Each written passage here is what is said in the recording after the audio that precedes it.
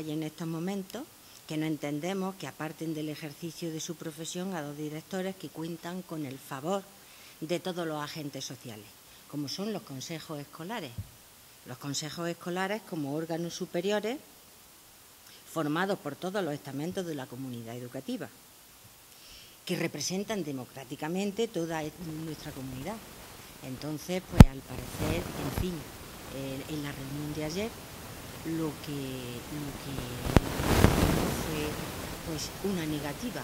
Al parecer, el motivo de esta arbitrariedad, que ellos no la aceptan evidentemente, pero ellos no la consiguen, no entiendo que sea, porque parece ser que se necesitan tres requisitos para la renovación de los puestos de dirección. Y bueno, pues lo, parece ser que positivamente, no parece ser, seguro que positivamente, pues el Consejo Escolar como órgano colegiado de, como he dicho, de, la comunidad educativa, pues es un informe no positivo, positivísimo, diría yo. El resto son unos, parece ser que unos memorias y cosas que tienen que hacer los directores, que me imagino que por la trayectoria profesional de estas dos personas serán inmejorables. Tendrá la máxima puntuación. Y una tercera parte, que es a dónde vamos, es el informe de la inspección, que al parecer no ha sido positivo. Entonces no entendemos cómo un informe puede tener mayor valor. Bueno, al parecer ellos dicen que es que se tiene que dar las condiciones que reúnan de los tres requisitos que sean positivos. Pero qué casualidad, ¿no?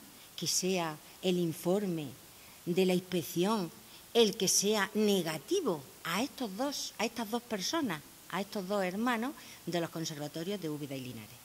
Entonces, claro, lógicamente, pues pedimos a ver si nos podían enseñar el informe. Yo sabía que no me lo iban a enseñar porque por la ley de protección de datos yo entiendo perfectamente que no me lo enseñaran. Pero al menos que dijeran que era lo negativo de estas personas.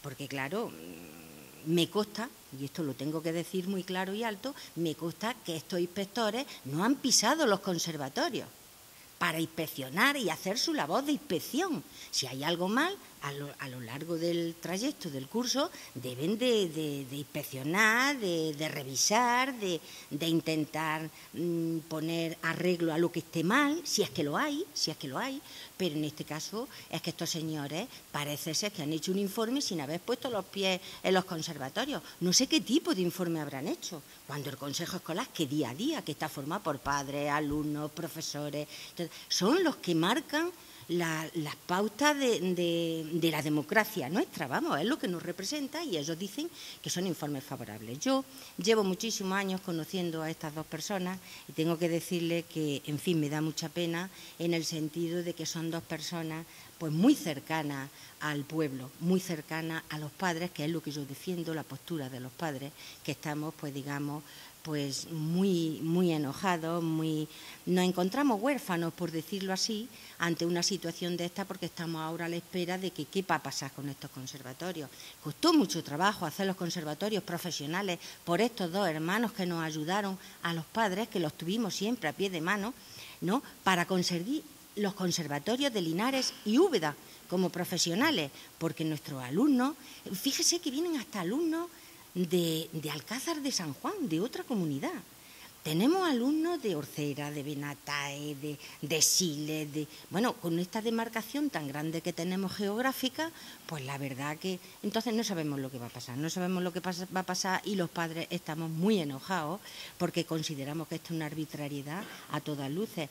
la comunidad educativa está toda reformada, está toda unida eh, los padres, alumnos, profesores. Y es más, yo tengo entendido y me han dicho los profesores que le han ofrecido la delegación a muchos profesores, la dirección, y se han negado, se han negado en coger la dirección en estas condiciones, en estas condiciones porque ven que es una arbitrariedad. Así no, así no se va por la vida. Hace tres días estábamos diciendo que éramos muy demócratas porque teníamos las elecciones encima. Entonces ya se han pasado las elecciones, pero vienen otras vienen otras y esto los padres lo vamos a tener en cuenta, eso que no se le olvide, eso lo apuntamos y los padres lo vamos a tener en cuenta. Y transparencia de los centros educativos. Entonces, a mí que me expliquen que un señor que no ha puesto los pies en los conservatorios, ¿cómo puede hacer un informe ni positivo ni negativo? Si es que debería de, haberse presentado y haber hecho un seguimiento, que no lo han hecho. Entonces, hombre, pues vamos a darle preferencia a los consejos escolares, que es la única herramienta demócrata que tenemos para defendernos.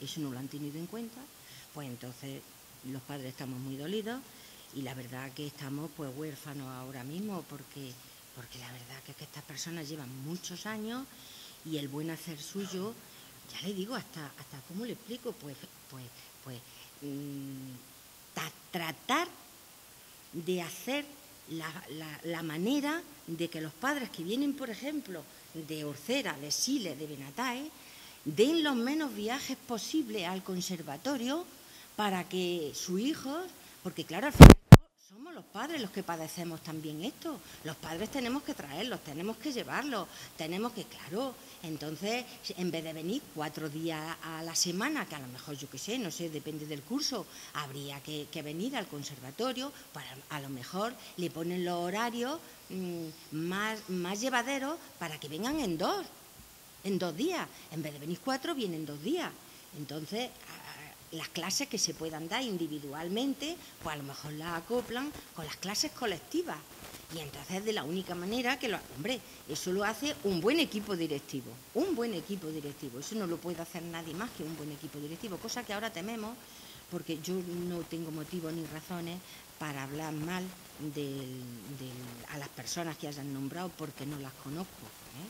Pero sí les digo que tememos mucho y el listón está muy alto de estas dos personas que ahora, pues no sin motivo y sin razón, porque si hubiera motivo y razones, pues dice, lo entiende.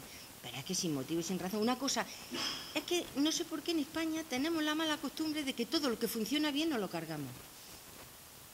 Y todo lo que funciona mal, lo mantenemos.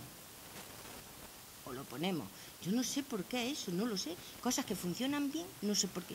Y movernos y movernos y movernos y das todo el ruido que podamos pero ellos serán los que vía judicialmente pues tendrán yo ustedes tienen que entender que yo estoy aquí como representación de los padres yo en ningún momento mm, los quiero mucho los aprecio mucho mm, todo esto pero yo estoy en representación de los padres si usted me pregunta qué vamos a hacer los padres pues hacer todo el ruido que podamos y, y desde luego por supuesto como bien le he dicho tenemos unas elecciones autonómicas que están, parece que están muy lejos, ¿no? Pero están ahí detrás de la vuelta de la esquina.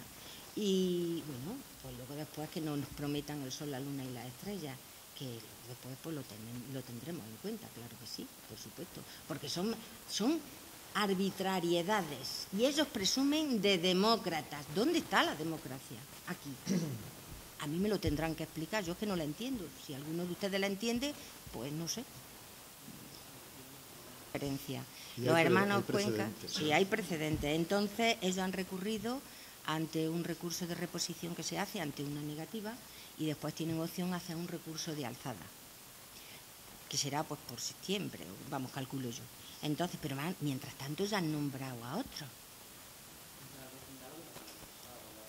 Mientras tanto, ya han nombrado a otro. Eh, yo qué sé.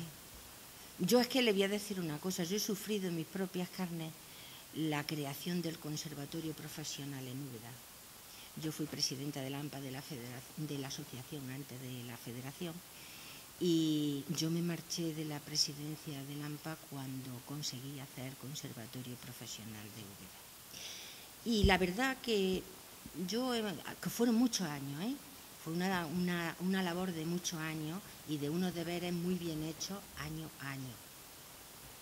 O sea, nos costó a lo mejor como así seis o ocho años nos costó el conseguir el conservatorio profesional, demostrando día a día que era necesario y al día de hoy, vamos, que quiero decirles que no es el aeropuerto de Cartagena, que es que es una labor que se ha hecho, que se le saca rendimiento y que, ahí está, que ahí está, que por una cosa que funciona bien, pues mucho me temo que se la van a cargar. y entonces sí lo siento, sí lo siento porque he sufrido mucho. Yo no puedo enjuiciar a estas personas porque no las conozco y no sé quién para hacerlo. Pero lo que Carmen ha señalado es que nosotros hemos pretendido averiguar el porqué de esa gran diferencia entre lo que el consejo escolar que vive el día a día del conservatorio y el inspector valora. Estamos hablando de más del doble en puntuación y no lo quieren enseñar. Entiendo también por la ley de protección de datos que no lo enseñen, pero a los interesados por lo menos sí deberían enseñárselo. Y de hecho, bueno, supongo que llegará un momento que tenga que salir a la luz.